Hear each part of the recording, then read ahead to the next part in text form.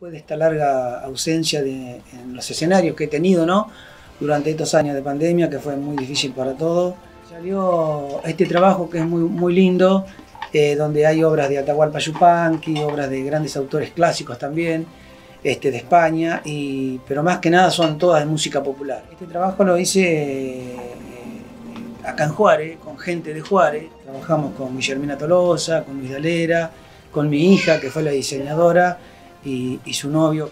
Y salió un trabajo muy lindo y, a mí me llenó, me llenó de satisfacción porque eso yo lo, creía que estaba perdido y eso eh, a mí me hizo muy bien porque eh, yo estuve parado mucho tiempo. Este, a mí se me perdieron muchas posibilidades de, actuar en el exterior, de actuar también en capital con el tema de la pandemia, como nos perjudicó a todos.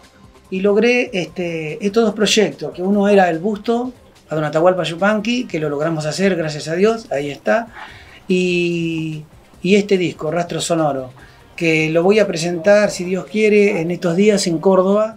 Es un disco interesante de música culta. No es cantado, es instrumental, como todos mis trabajos discográficos. Por ahí me han preguntado eh, por qué este, no grabo cantando. Si bien cuando yo salgo a actuar, eh, la mayoría de mis presentaciones son canto y guitarra.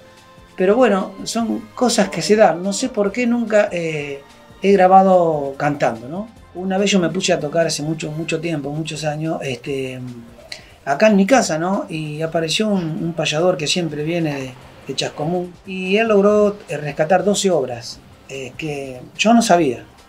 Y me lo hizo escuchar. Y y se escucha el correteo de mis hijas y esos ruidos domésticos, ¿no? Eh, yo digo, pero qué lindo, la verdad que no sabía nada y las obras son muy hermosas y que yo hoy en día eh, ya no las toco más, no las toco más, porque son obras complejas. Y en este momento de que yo no podía tocar la guitarra por el tema de la pandemia, no había hecho nada en tres años, no salía a ningún lado, me puse a trabajar sobre ese rescate. Entonces se lo di a, a Luis Dalera a ver qué se puede hacer con esto. Y me dijo, sí, se puede trabajar, esto lo vamos a trabajar y, va a quedar bárbaro. Y bueno, entonces la vi a mi hija por el tema del, diseño y a Guillermina Tolosa. Y salió un trabajo muy lindo. Y para mí también una alegría porque eh, volví a rescatar ese, archivo, como quien dice, que estaba perdido. Mi intención es rescatar todas las obras antiguas de guitarristas españoles, eh, guitarristas de, otros países que nadie graba, por ejemplo, de las especies de, nuestro, de nuestra llanura pampeana, como un término, que son cosas que nadie lo graba eso. E, ese es mi trabajo, esa es mi misión, el rescate y la preservación de nuestras especies del Río de la Plata. Volcarlas en el disco.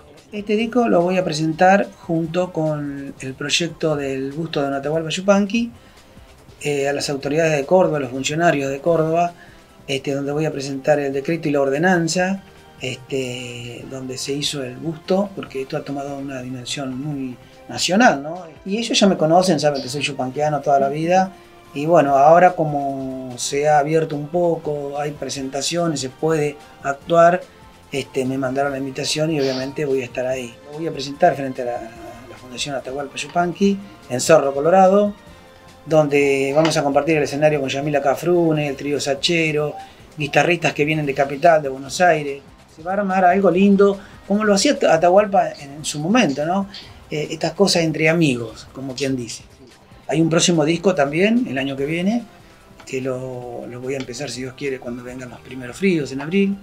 Este, eh, también vamos a trabajar con, dos músicos de Juárez, que va a ser Luis Dalera y Héctor Luis Gargallone. Y va a estar también este chico de Rodríguez, Ricky. Y van a surgir otros proyectos también a través del Consejo Federal de Folclore, este, donde yo pueda hacer intercambios culturales con gente que venga de, de Salta, de Formosa, para trabajar, ¿no? para salir a, difundir lo que es toda nuestra música latinoamericana. A través del Consejo Federal de Folclore, mi misión es tratar de, que se acerquen este, músicos y muestren su, talento, ¿no? que puedan viajar, que puedan mostrarse, eh, que puedan rescatar la música que ellos hacen. ¿no? no solamente a los músicos, pintores, artistas, por el Consejo Federal este, eh, hay distintos ejes temáticos. Y yo los invito a que se acerquen, hablen conmigo y yo les, voy a abrir la puerta, como se lo he abierto, por ejemplo, al dúo Alba, que ellos también, este, a través del Consejo Federal de Folclore, han podido ir a Córdoba, a otras partes, Salta. Pues yo siempre digo que el músico necesita un público nuevo. No podemos estar tocando siempre en el mismo lugar, siempre en Benito Juárez. El, el músico necesita un público nuevo. Ya en, mi ciudad ya me han escuchado. ¿Para qué voy a seguir tocando? Yo necesito que me escuche otra gente para ver a ver si voy por el buen camino o voy por el mal camino. Entonces necesitamos expandirnos, salir. Vamos a, tratar de mostrar nuestra música eh, eh, en otros lugares, que está linda, que son especies del Río de la Plata, muy hermosas, y que hay excelentes músicos que, que pueden trabajar con, con un gato, arreglos, muchísima música. Yo quiero agradecer principalmente a las instituciones privadas eh, que siempre han estado conmigo, siempre. Eh, quiero agradecer eh, a, las autoridades de acá de Benito Juárez, al señor intendente Julio César Marini y a todo su equipo de trabajo. Quiero agradecer a la prensa, quiero agradecerte a vos este, por, por estar siempre, ¿no? por preocuparte por, por lo que hacemos nosotros. Agradecerle a todos porque como lo dije ahí en el, busto, yo siempre fui un agradecido. Porque sin ellos yo no puedo hacer nada.